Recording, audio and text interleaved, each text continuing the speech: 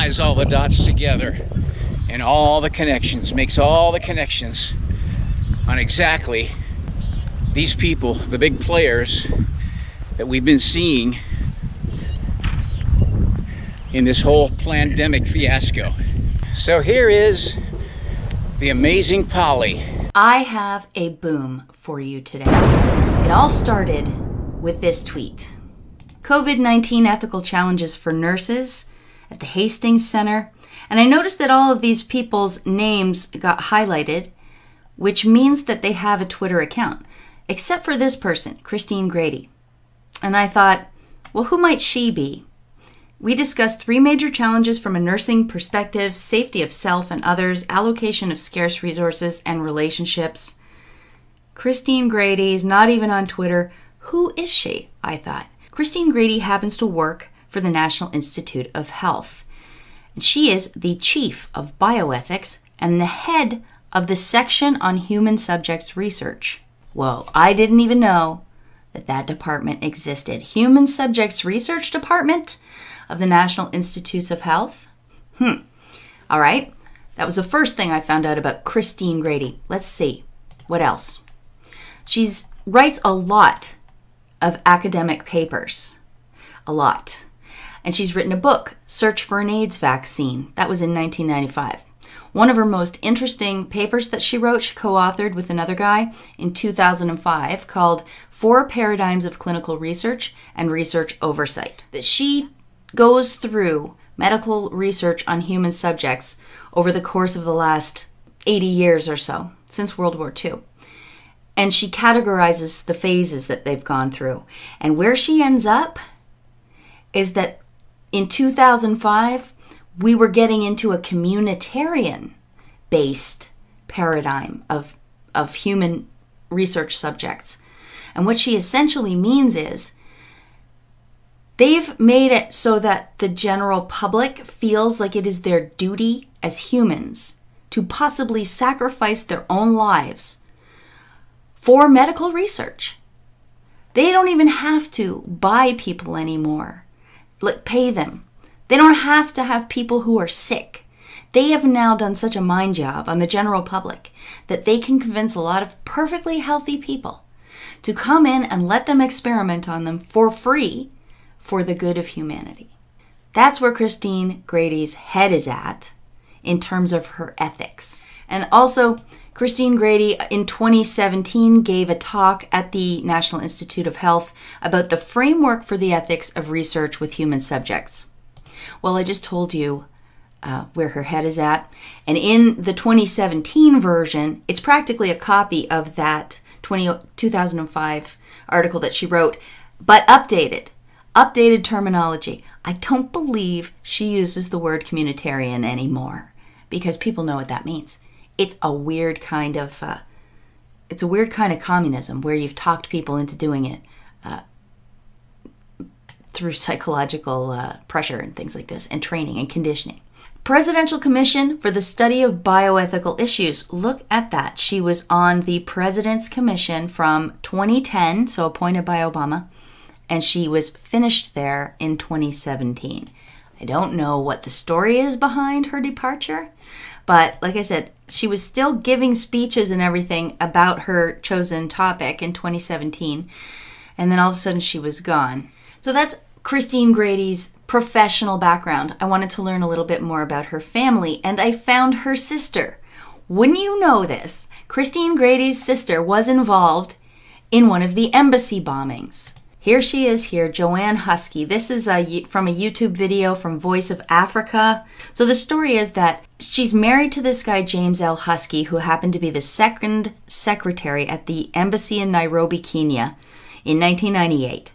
She went there that day, the day of the bombing, supposedly to have her children get tested uh, to be approved to go to school in Kenya.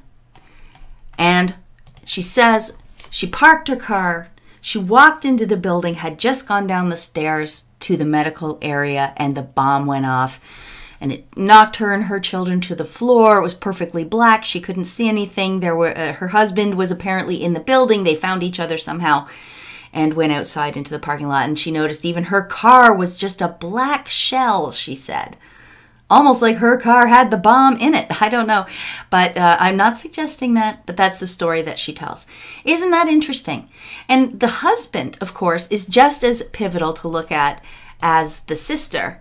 So James L. Huskey's LinkedIn page is here, and we can see that from 2012 to present, he's been a consultant in international affairs at colleges and universities, but more importantly, at the U.S. Department of State. So now he's just not on the payroll, he's a contractor. At the Department of State, James Huskey, so Christine Grady's brother in law, reviews diplomatic correspondence and documents for release via Freedom of Information Act requests. Okay, so he is the choke point for information getting out into the public. For anything the State Department might do, especially the ambassadors. And it's funny because who is one of the ambassadors? I mean, ambassadors have played a pivotal role in one or two particular big news items. Since Trump's gotten elected, I can think immediately of Marie Yovanovitch from Ukraine and Sondland and other diplomats and ambassadors, right? And Christine Grady's sister's husband, her brother in law, works right now reviewing diplomatic correspondence and documents for release via Freedom of Information Act requests. Very interesting. And then when you go back in time, in Huskey's career, you can see Department of State. He was Director of Crisis Management, Deputy Director, Office of Global Systems. He was a diplomat in residence at Georgetown University, Deputy Director, Office of East Asia Regional Security at the U.S. Department of State between 99 and 2002. Seems like a little thing called the September 11th bombings happened right in the middle of that. And then going all the way back to 1996 is when he started at the embassy in Nairobi, Kenya. That's quite the background so far for Christine Grady. She's head of human subjects research and medical ethics at NIH, was on the President's Medical Ethics Commission from, for seven years starting in 2010. Christine Grady's sister is connected directly to a person who's been in the Department of State for since 1996. She's written a book called The Search for an AIDS Vaccine, and her ethics are communitarian minded. Does she have any connection to Bill Gates? That would be the burning question, wouldn't it? If I could find Christine Grady sitting on the board of the Bill and Melinda Gates Foundation or something like that. Well, I could not find any such connection. Who is Christine Grady married to? Any guesses? I won't keep you in suspense. Christine Grady is married to Anthony Fauci. What? Are you kidding? My jaw dropped when I saw that. Christine Grady, head of bioethics and human experimentation at the NIH, is married to Anthony Fauci, who also works at the NIH and is head of the Coronavirus Response Task Force. Boom. Boom. And who needs a direct connection between Christine Grady and Bill Gates when you know all we know about Anthony Fauci's own connections to Bill Gates? Now, there's newspaper articles and television spots out there right now claiming that Anthony Fauci, no, Anthony Fauci is not on the board of the Bill and Melinda Gates Foundation. Well, that's true. He's not. But that's an obfuscation on the part of the news. That's how they lie. They don't outright lie to you. They just frame it in such a way that they can set up a straw man and defeat the straw man. The straw man's never a true assertion in the first place.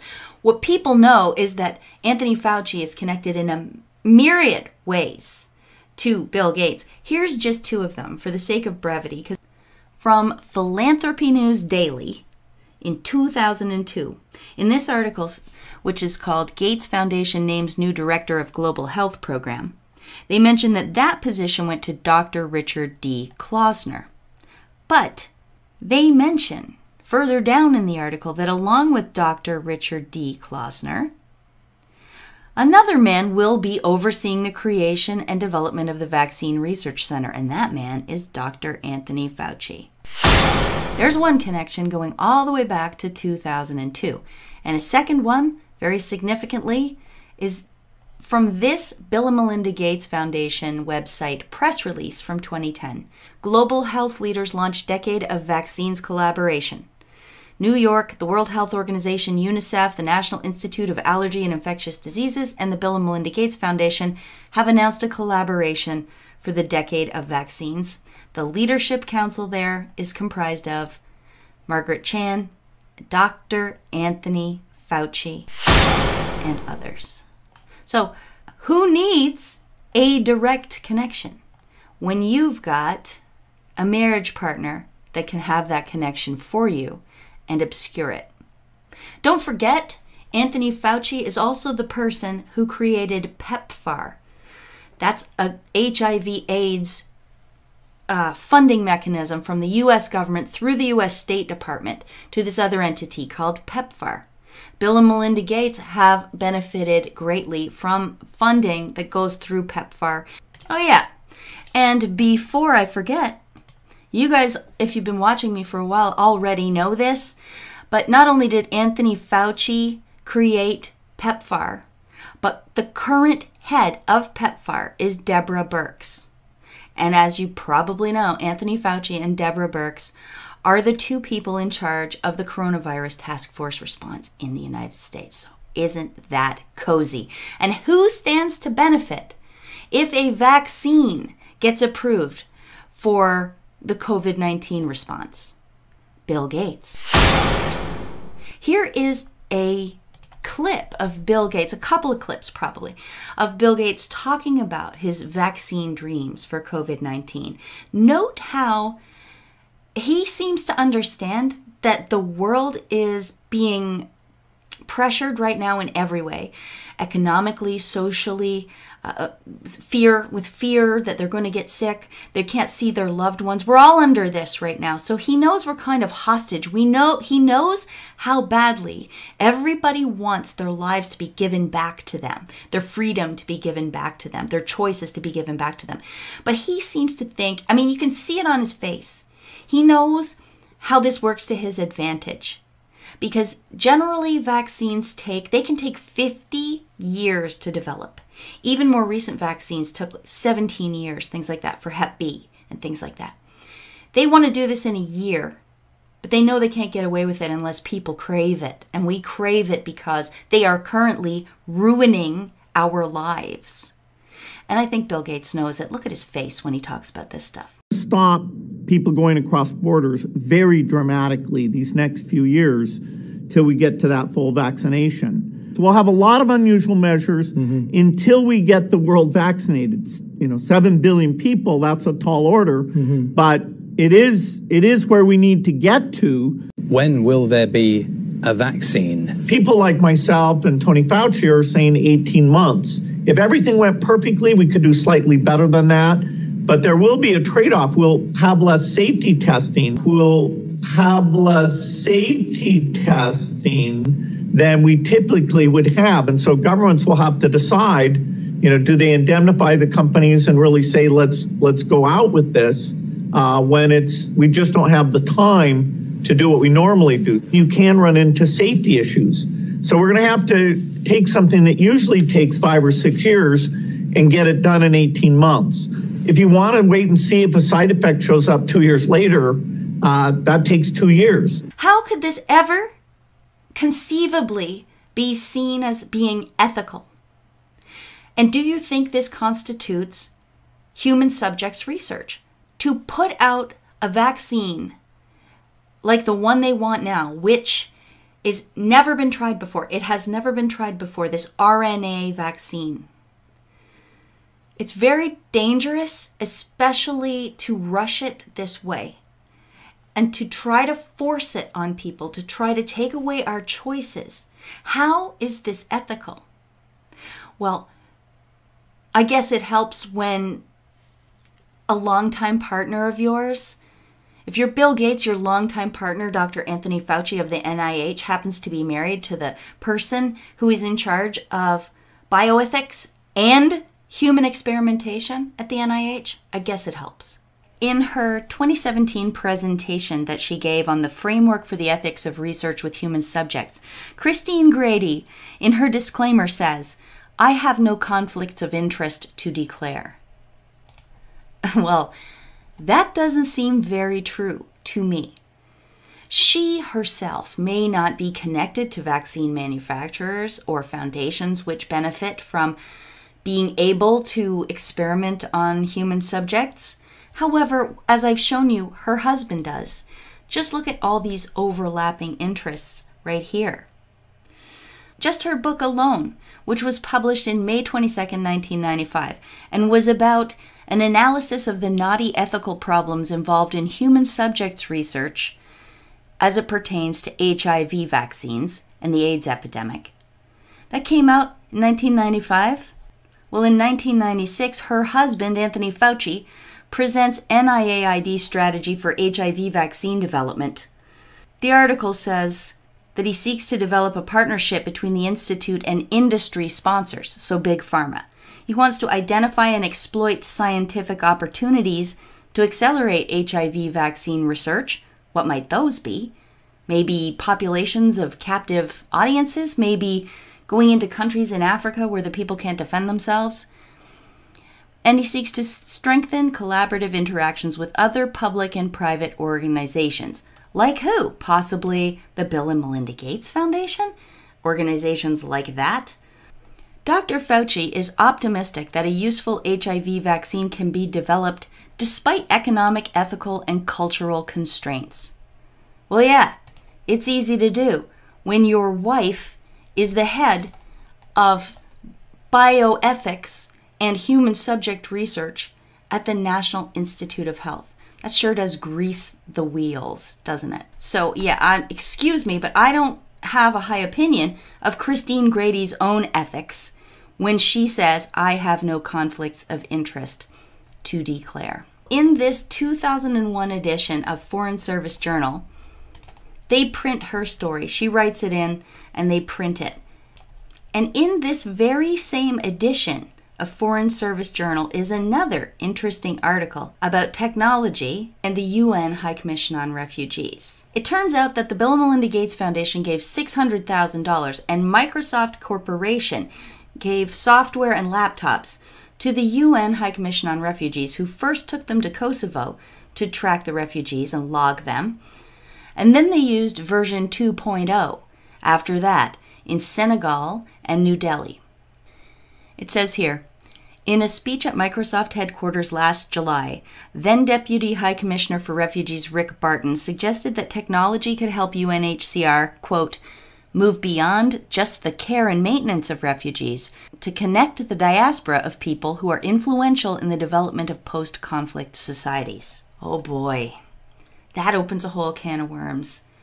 Do you remember my research on Project Aerodynamic, which was where the CIA identified a large diaspora community of Ukrainians that had come mostly to Canada? And the CIA moved in and used the fact that they were unassimilated and that they were kind of a an island in itself, floating loosely. They could push them towards different political opinions and ideas. And also, they exploited the fact that these guys were traveling back and forth from Ukraine and other uh, Soviet bloc countries back to Canada, back and forth. They used them to pass messages, they used them to spread propaganda, they used to read their mail, they used them to bring things back and forth, they used them to recruit other spies in other areas. They were assets of the CIA. It was called Project Aerodynamic. I've covered it before in relation to Alexander Vindman and his family.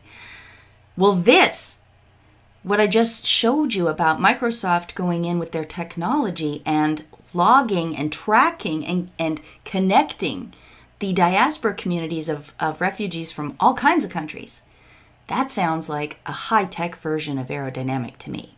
And the boom is, of course, that Anthony Fauci's wife, Christine Grady, is head of human subjects research and medical ethics at the National Institute of Health and was actually on the President's Medical Ethics Commission from 2010 to 2017. I mean, boom.